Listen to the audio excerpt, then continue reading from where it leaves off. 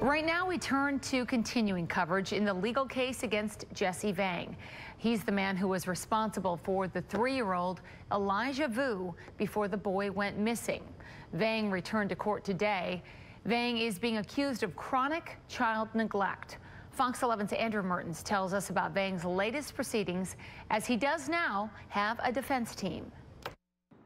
Thursday's court appearance for Jesse Vang was brief and did not reveal any new information about the case. However, it was the first time that we saw Vang have representation in court. Jesse Vang appears by video from the Manitowoc County Jail. Attorney Tim Hogan and attorney Michael Turner appear from Zoom from separate locations. Vang has two attorneys in his defense. In two weeks, the court will decide whether or not there's enough evidence against Vang to put him on trial. Those proceedings were supposed to happen Thursday, but were delayed. There have been some filings regarding uh, motions to dismiss, motions to modify bond, and uh, today's date did not work for Attorney Hogan uh, and Turner to be present in court. Vang is currently being held at the Manitowoc County Jail on a $20,000 cash bond.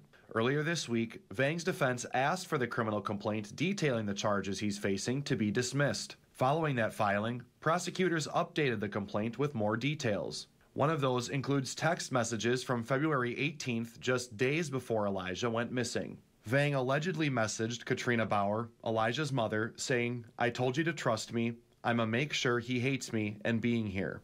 Baur allegedly replied, saying, Don't want him to hate you, just fear you. Thursday marks 30 days since Elijah was reported missing. On Monday, police confirmed that a blanket that was found earlier in the investigation belonged to Elijah. People who have helped search for Elijah say it's a positive sign, but isn't entirely good news. On the flip side to that, you're just like, your heart just kind of sinks because his blanket was out in the field. You know what I mean? And then there's no Elijah. Vang's preliminary hearing will be held the morning of Thursday, April 4th. In Manitowoc, Andrew Mertens, Fox 11 News. Tomorrow afternoon, the mother of Elijah Vue, Katrina Baur, will be back in court. She is also facing chronic child neglect charges. We plan to stream the hearing live at fox11online.com. In the state of Wisconsin versus Jesse Vang, 24 CF 162, uh, appearances starting in the courtroom. State appears by Jacalyn LaBre. And on Zoom. Jesse Vang appears by video from the Manitowoc County Jail. Attorney Tim Hogan and attorney Michael Turner appear from Zoom from separate locations. Uh, the matter was on the calendar for preliminary hearing today. Um, since the matter was uh, scheduled last week, uh, Mr. Vang has had uh, attorneys Hogan and Turner appointed to represent him. Um, there have been some filings regarding uh, motions to dismiss, motions to modify bond, and uh, today's date did not work for Attorney Hogan uh, and Turner to be present in court, correct, Attorney Hogan? Correct, Your Honor. And my understanding is what the parties uh, will be looking to do today is in light of uh, the recent appointment, have the court find cause to continue to toll time limits and adjourn the matter to April 4th. That'll give the parties some opportunity to discuss what, if anything, we actually need to take up that day, including the preliminary hearing, and it'll give attorneys Hogan and Turner an opportunity to be present uh, in court. Uh, Attorney Hogan, is that uh, your understanding is to what we're looking to do today? Yes, that's all correct, Your Honor. And Attorney LaBre? Yes, Judge. All right, based on uh, the recent appointments then of uh, Attorney Hogan and Attorney Turner, the court will find good cause to toll any, continue to toll any applicable time limits, and we'll adjourn the matter to April 4th at 11 o'clock with the anticipation that if we have the preliminary hearing, uh, we'll be doing that in person. If it's going to be a waiver, Attorney Hogan, that can be done via Zoom, okay? Uh, you Thank you, Your Honor. all right, and that date and time works for you and Attorney Turner, Attorney Hogan? It does. And works for the state? Yes, Judge. All right, anything else for the record, Attorney LaBre? No, Judge. Attorney Hogan? No, thank you. Then we're adjourned. Tell us how the search has been going so far. Uh, it's it's going, you know, um, just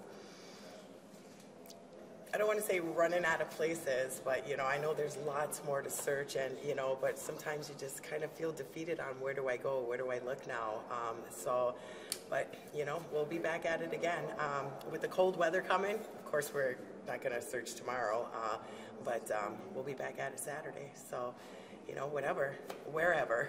um, it's just it's frustrating right now you know again because i just i honestly don't know where to to look anymore um, and i just feel that he's close i really do i feel that he's close um, so so yeah we'll just go with the flow so yeah. What, what was it like to hear about the news of the blanket this week? It was actually great news. Um, uh, something that was released to us, you know, even th- to find out that it was found in the first week of Elijah being uh, missing. Um, so that was helpful. It was. Um, but on the flip side to that, you're just like, your heart just kind of sinks because his blanket was out in the field. You know what I mean? And then there's no Elijah, you know? So um, it's just, you know, it's a double edged sword right now. So, yeah. Some things have been um, released about past charges with Vang and his connection to to Jess uh, to Katrina, excuse me. You know, some, some trafficking charges. What are your thoughts on that? What's your reaction? Um, well, you know, again, that's just as far as like the trafficking and, and stuff like that, you know, just like hearsay or, you know, whatever happened to her in the past, you know, um, I, you know, if I'm being honest, I mean, I should say that I don't care because I, I do care. I mean, for any woman or any child or, you know, um, a boy, man, you know, it can happen to them. But I'm just more concerned about the here and now and what's going on with Elijah. That is our main focus. That is our only focus, you know, and hopefully we can get something out of them too. Um, because they know, they know, you know, and I'll say it again, I've said it a hundred times, they know where this little boy is, and I, they can't tell me any different. So, you know, and like that's what I mean as far as like the double-edged sword. You know, um, it's been 30 days, and the only thing that we have is, is his blanket. Well, PD has is his blanket. Um, so, um, you know, it just it kind of brings you down a little bit. You know, because I mean that's the last thing that you know I wanted to hear. You know, I'd rather hear Elijah was found safe and sound and, you know, with his blanket, not just his blanket out in the field, you know. So, Is the hope for that almost diminishing as, you know, time goes along and like you said, the blanket was found in a field? and, Yeah. You know, police haven't necessarily put a timestamp on when that was. right, right. You know, and again, just being honest, um, you know, 30 days, like, that's a long time for a three year old to be missing and then nobody has seen or heard or, or nothing. Um, and, and just, just the blanket, it, it's gut wrenching, you know, out, out in the field. Again, you know, that's um, out in the field. You know, it just, it sucks. It really does. Part of my language, but it, it really sucks. Um, we just want him. We just want him physically, you know, um, so we can give the family some peace and, you know, um, where they're not stressing 24 hours a day, you know, because again, I, I, he has no ties to me and I wake up and he's the first thing that's on my mind. I jump on my phone. I wanted to see if any changes or overnight or, um, and that's the last thing that I do when I go to bed is I think about Elijah.